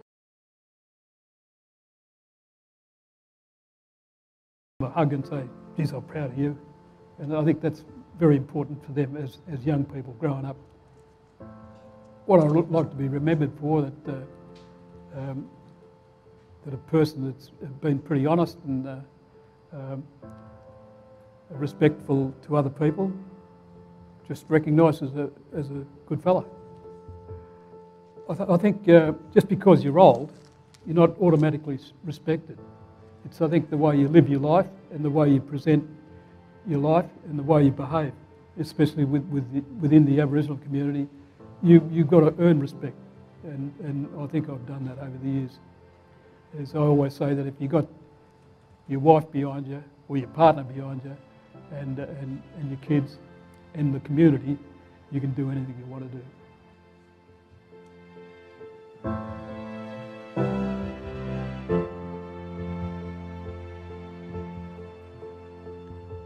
Just stop that, thank you. Um, well, Uncle, um, you were mentioning the Koori Court and your involvement in the Koori Court there. And uh, that was uh, about 13 years of uh, your time with the Koori Court. You were an elder who sat on the court. Uh, and your daughter Rose was uh, one of the people instrumental in setting up the Koori Court program. Um, so tell us about the Koori Court program and what a difference it made to young offenders coming before the court. Well, I, I, um, I um, uh, as I said in the piece there, that um, Koori Court was got the opportunity for um, the person that, uh, first of all, had to plead guilty to appear before us, um, and uh, they most of them did, and. Uh, then we'd explain in, in an ordinary court, uh, as you probably know, that they don't have to say anything. They can stand behind the lawyer, and uh, the lawyer does all the talking. And uh, um, we're not really interested in talking to the lawyer. We want to talk to you, brother. What's your problem? What, what, why are you uh, uh, messing up? Why are you uh, committing crimes? Why are you taking drugs? Why aren't you looking after your family? Uh, there are so many uh, programs out there that can support you, but we want to know, we don't want to talk to the lawyer, we want to talk to you. And uh, uh, it gives them the opportunity to speak. But in normal court, as you, as you probably know, they don't have to do that. Mm. Yeah. So, so the opportunity for them to speak directly to you Yes, and the fact that your elders who are sitting with the judge yes, in that process. with, with both uh, male and female Mm, uh, elders in the court, mm, which, which is a, a pretty good uh, process because we have uh, both uh, ladies and gents coming to our courts. Mm. Yeah. Um, we, we know from the statistics that Aboriginal people are um, incarcerated at shocking rates Yes, and that this is an ongoing issue that has not yet been addressed by no. Australian governments. Um, what do you say about the success of the Koori Court program?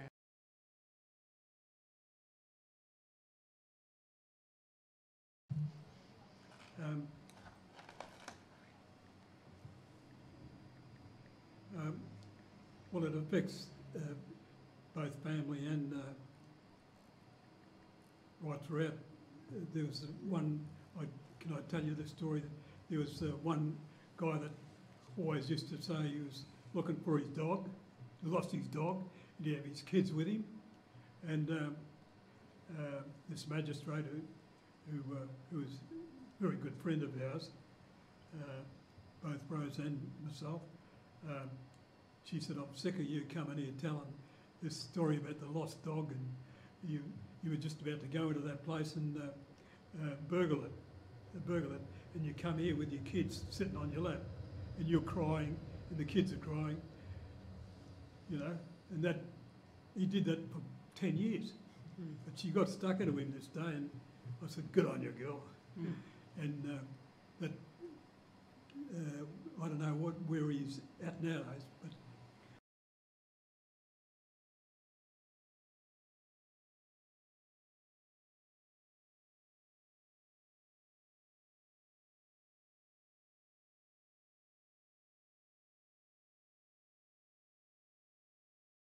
so that we, we didn't want to talk to the lawyer, Mm, we wanted to talk to him. mm, What, what's his problem? Why is he Mm.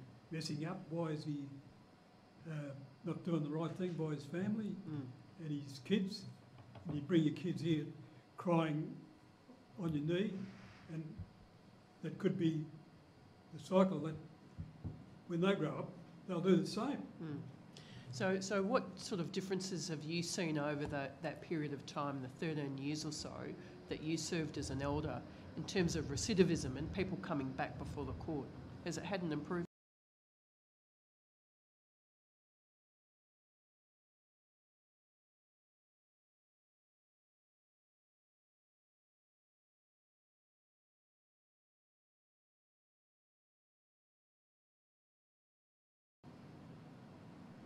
I think it's better now.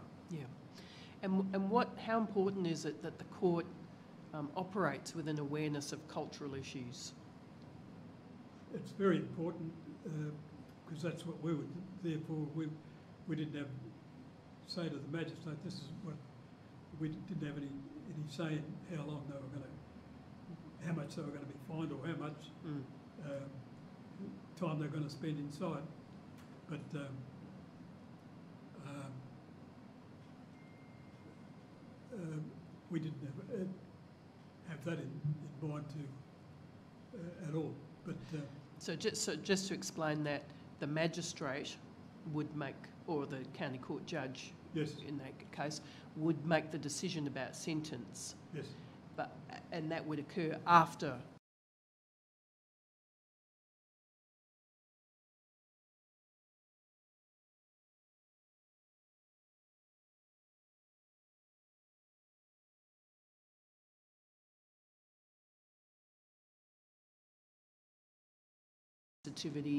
and awareness of uh, the reasons people might be offending. Did that make a difference to those people coming before the courts?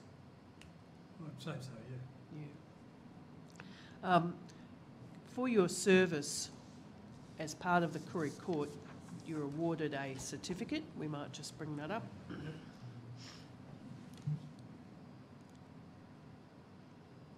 Uh, in fact, the certificate's uh, part of that uh, glass uh, sculpture. And as that records,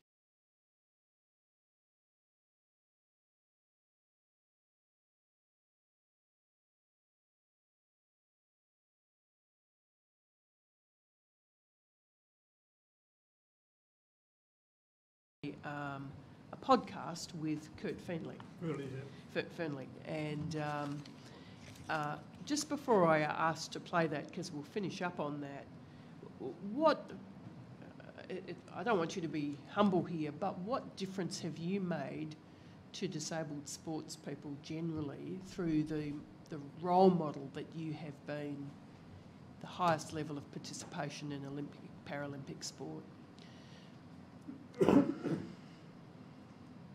Um,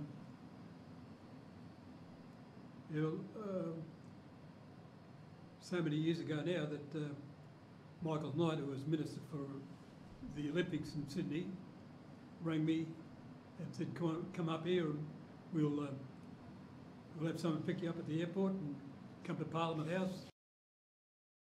We're going to name a few streets after people and uh, one of them's going to be named Kevin Coombs Avenue. And I go in there and uh, uh, Fraser sitting there, um, um, the late Murray, um, the long distance swimmer, um, and, and, and um, uh, what was his name? Uh, the the um, uh, Jackson, she was the governor of South Australia, um, Marjorie Jackson, um, and a, great person. Um, and they were naming streets after. And he says, Herb Elliott's not going to be there, but we're going to name a street after him and Dawn Fraser. And uh, I said, oh, well, I know Dawn, so I'll go, I'll go after her. But the um, C comes before F. so I do an alphabetical order. So can you imagine um, there was 400 cameras looking in your face and the four, four television networks plus all these other cameras going off and uh, we got through that all right. Fantastic. And have you strolled up and down the avenues named in your honour? Yes, it, uh, um, I was up there a couple of years back now and, and Michael Knight says, I've got six months to go before you go home. He said, I want you to, I think Jordan was with me, we, we're going to go around the street and uh, if you want any work done on it, because I've got six months to go on the contract running this uh, precinct out here at, at uh, Homebush. Yeah. But uh, no, it, it's very good. Um, so I'm going to play a little bit now from the Fearnley uh, Okay. podcast, and you'll hear your voice and his voice. He's a nice young fellow.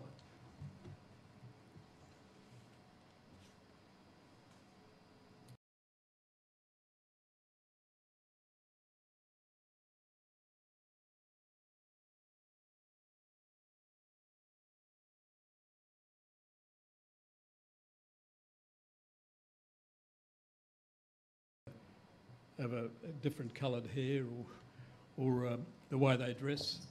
Um, we're all in this together. We're, we're all Australians, and um, the best thing that ever happened uh, to uh, to Australians is to um, to get rid of the the old white Australia policy. How have you kept the faith and the pride in the country when you went through those periods where you weren't able to have a passport, but you kept going, and you you went through the white Australia policy where you've seen, you know, well, just obviously saying racist, racist stuff, but the pride, the pride's never left you.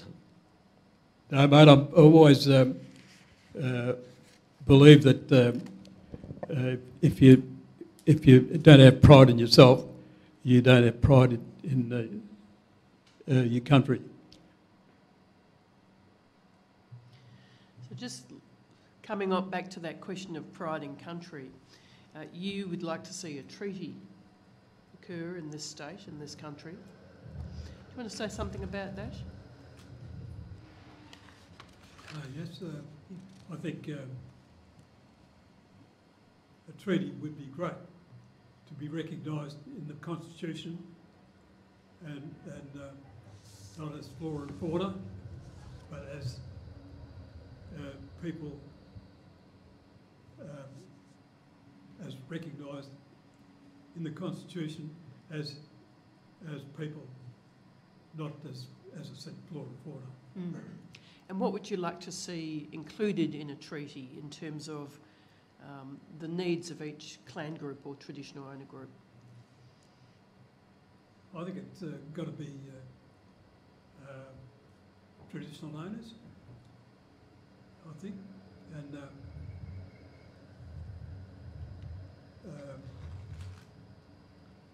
in, in land rights or yeah, that that too, Mhm. and and it's uh, it's a big big question that. Mm. Yeah. In your statement, you mention some of the things you'd like to see covered by a treaty, including Aboriginal education, history within schools, Yes, employment and higher education opportunities, yes, more protection and conservation of our culturally significant places, yep, a strong economic foundation that includes and enhances opportunities for various business streams that provide a strong financial position for generations to come. right. So do you want to say anything more about any of those items? Uh,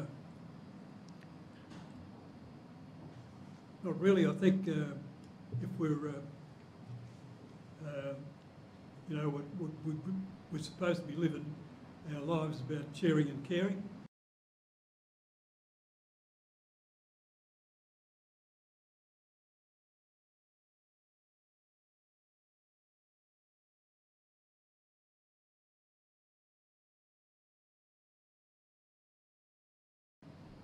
Do nothing. Um, so you mentioned also uh, recognition in the Constitution. Yes, How, how important is it to you that there be recognition of First Peoples of Australia in our Constitution? well, I think it's the, the number one thing, and I'm, I'm very glad the uh, uh, new Prime Minister is, is, is uh, going to take on uh, the Uluru Statement. Um, and I hope, hope he gets it through because it's very important that we as people uh, that we were the first people here. Um, and we, we're, uh, we're pretty well, uh, uh, we're pretty, pretty good breeders. we've got a lot of our, our children and grandchildren, and there's more to come. Uh, so they've got to get the, uh, get it right and uh, do a lot of do away a lot of the wrongs. Hmm. What you say in your statement about this is when we have power over our own destiny, our children excel. Exactly. And might I read paragraph 134? You say, Before I vacate this world, I want to see treaty and I want it to be recognised in the Constitution that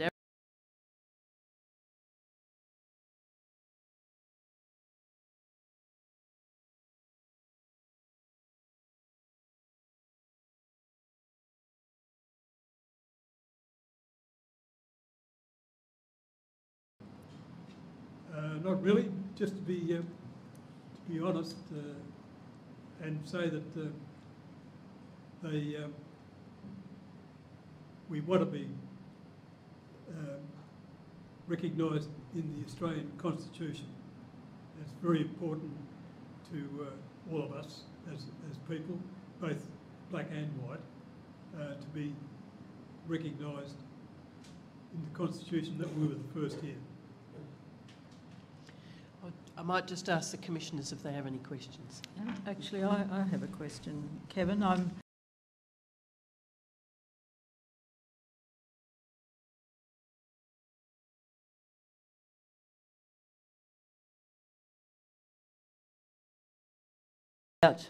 treaty that uh, Aboriginal Affairs Victoria was running. There were statewide meetings right at the beginning, and I don't think we've had any since, have we? No.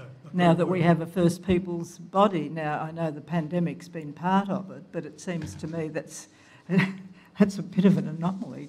Um, uh, so uh, there's no opportunity at the moment for people to come together, and I think what strikes me, uh, and I just wonder what you think about, that there is talk groups and then a statewide treaty.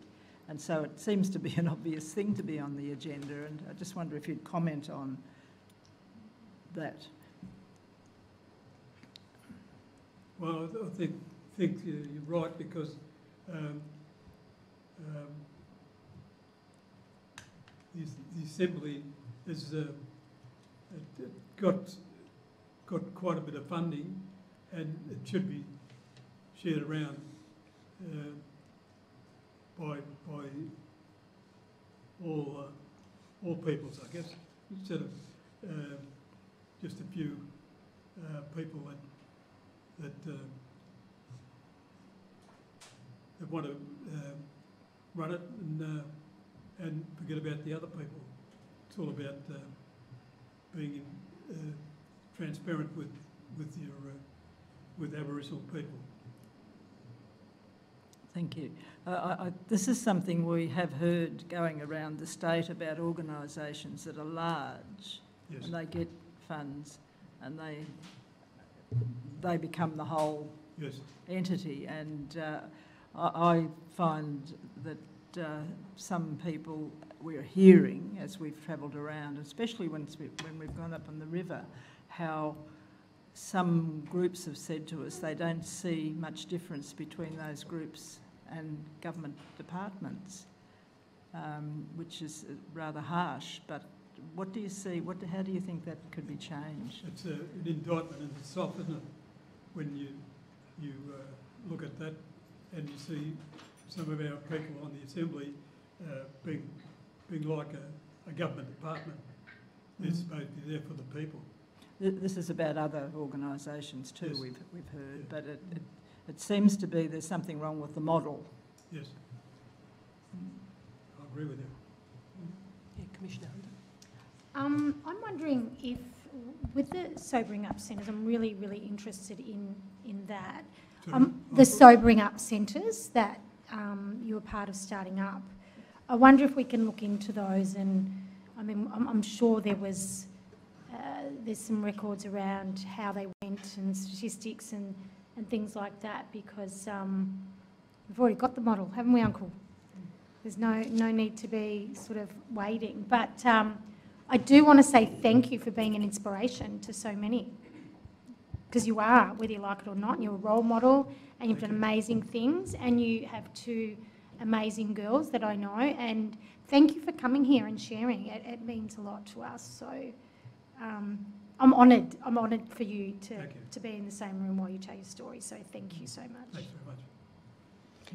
I, I've got sort of almost, I was just trying to Google it and it didn't give me a good answer. Um, but I know that have been recognised in the Victorian state constitution, but I'm not sure how. Is it in the preamble? It's a preamble to the Treaty Advancement Right. Commission's um, uh, legislation. I don't, I don't know about anything Mm. else, uh, Counsel. And, and in the Constitution, but we can, I, I'd just sort of like this, maybe that, that Uncle sort of thought, twigged me to start thinking about it, just to have a look at that. And is that, it might have been groundbreaking at the time, but is it appropriate for now, given the push from the Uluru Statement for constitutional recognition and the association between constitutional recognition and voice uh, that's been made by the Uluru Statement?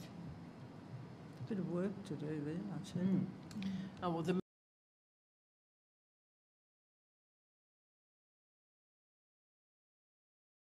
constitutional reform. Good to hear. Yeah. Um, any other questions for Uncle? No, th- except to say thank you. Thank you so much.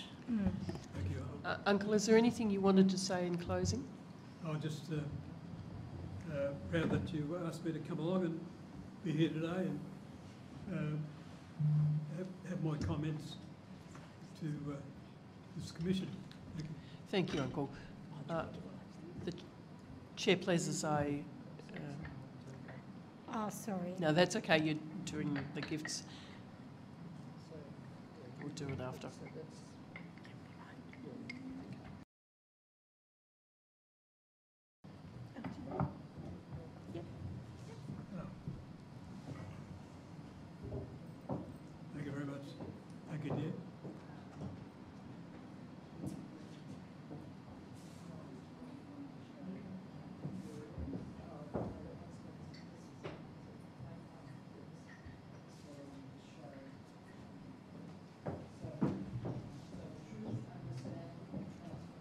Yes.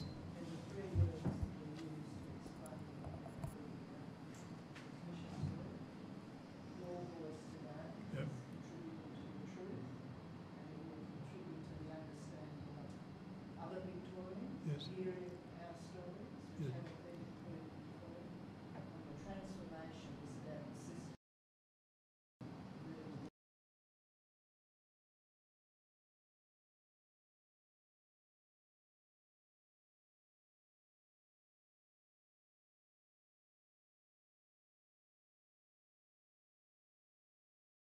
tender Uncle Kevin's statement, uh, which will be Exhibit 9, uh, with the attachments through to Exhibit 911. I don't intend to tender the um, article I referred to, but for those, um, just for the transcript, I'll identify it. It's an article of the 15th of May 2022 in The Guardian, and the title is From Lock-up to Sobering Up, Victoria Grapples with Public Drunkenness Reform by Adeshola Ore. Thank you. Thank you. Thank you. So, so, thank you. Counsel? This sitting of the Yoorrook Justice Commission is now closed. Thank you. Thank you.